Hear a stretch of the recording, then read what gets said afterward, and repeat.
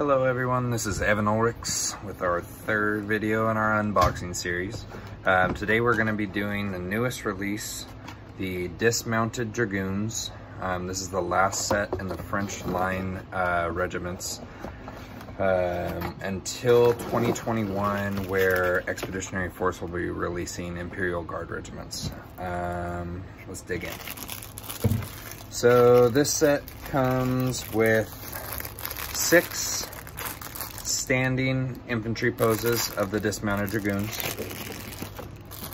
two dismounted figures, and one officer who has a slightly different helmet. It's a little bit more ornate, um, and a sword. It also comes kind of nice with four firing poses, which is a little different than most X-Force sets, which only come with two. So you can get a nice little firing line going. Um, it also comes with a guy reloading, it looks like, and rifle at the ready. Um, it comes with at least two, maybe three different types of uh, helmets. And what's kind of nice about this set is you can use it with the mounted French Dragoon set and interchange different uh, arms and helmets and everything like that. And today, kind of cool, little something different. I have a couple poses put together here. So let me show this.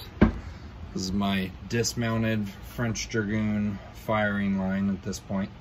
Um, so for this mounted Dragoon officer, I simply used the um, different arms from the dismounted set on the mounted set and the helmet that goes with the officer pose.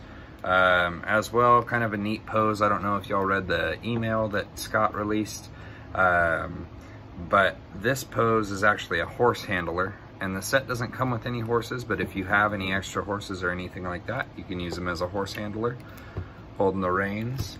Um, another kind of unique conversion or so that I did was I bought the um, mounted dragoon set with the trumpeter and then I used that in a in the dismounted dragoon set. So we have a dismounted dragoon trumpeter along with our dismounted dragoon firing line.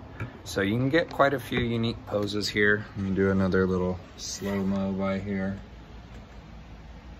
And they fit very nicely with the mounted figures as well. All right you guys i think that is all i have for y'all today. Hope y'all have a nice day. Bye bye